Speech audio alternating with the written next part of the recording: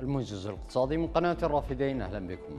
أكد خبراء اقتصاديون في العراق أن الضريبة لديها أكثر من 100 تريليون دينار كمبالغ متراكمة منذ عشرات السنين ولم يتم تصفيتها أو تقديم حسابات ختامية بها. وقال الخبراء إن الاستقطاعات الضريبية يتم استقطاعها من الوحدات الحكومية على وفق مشتريات من المجهزين والمقاولين وغيرهم. حيث أن العديد من الفواتير المقدمة إلى تلك الوحدات ليست حقيقية بل تقدمها جهات تقوم بالتلاعب باسم المحل أو نوع البضاعة. وعندما تذهب الاستقطاعات إلى الضريبة فإن صاحب الفاتورة لا يقوم بالمراجعة لغرض استعادة المبالغ لأنها فواتير وهمية. أعلنت وزارة الخزانة الأمريكية أن العراق زاد من حيازته لسندات الأمريكية لأكثر من مليار دولار خلال شهر آب الماضي. وقالت الخزانة الأمريكية إن حيازة العراق من سندات الخزانة الأمريكية لشهر آب من عام 2022 ارتفعت بنسبة 3.2% لتصل إلى 35 مليار و630 مليون دولار بعد أن كانت 34 مليار و587 مليون دولار في شهر تموز الماضي.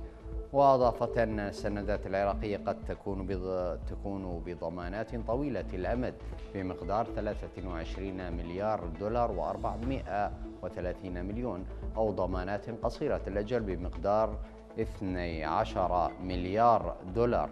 مشيرة إلى أن هذه السندات تمثل 0.44% من سندات العالم.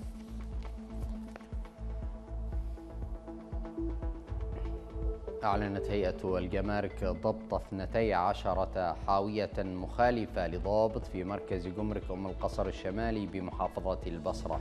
وقالت هيئة الجمارك إنه تم ضبط 12 حاويات تحمل ملابس مستعملة وبطانيات مخالفة لضوابط الاستيراد في مركز جمرك أم القصر الشمالي. واصلت الليرة السورية تدهورها مقابل الدولار مسجلة رقما قياسيا جديدا بعد أن تجاوزت حاجز خمسة آلاف ليرة مقابل الدولار الواحد. وبحسب موقع الليرة السورية الذي يراقب أسعار الصرف في أسواق سوريا فإن سعر صرف الدولار تتراوح بين 4900 و 5100 ليرة في محافظات البلاد المختلفة ويشكل هذا الرقم 100 ضعف سعر الصرف الذي كانت عليه الليرة مقابل الدولار قبل بدء الحرب في عام 2011 ارتفعت أسعار النفط في تعاملات الآسيوية المبكرة لتقليص خسائر الجلسة السابقة.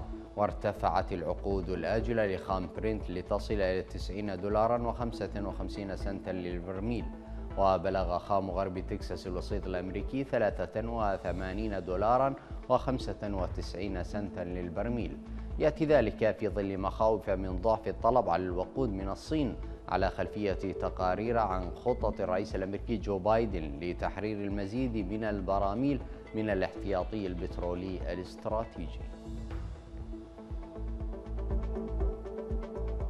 أما الآن فإلى أسعار صرف العملات الأجنبية مقابل الدينار العراقي وإلى أسعار المعادن.